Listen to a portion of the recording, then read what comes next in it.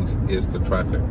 In season and off season, there's a little section of two lane road between Dennis and Orleans that is it's just maddening. It's just illogical. It's absurd.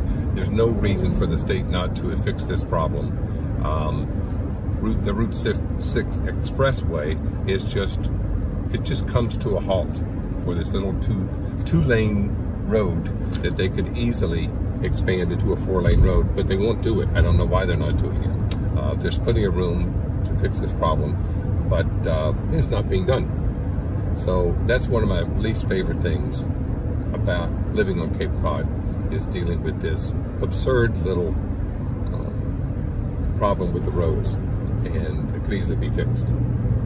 More later. See you. Bye.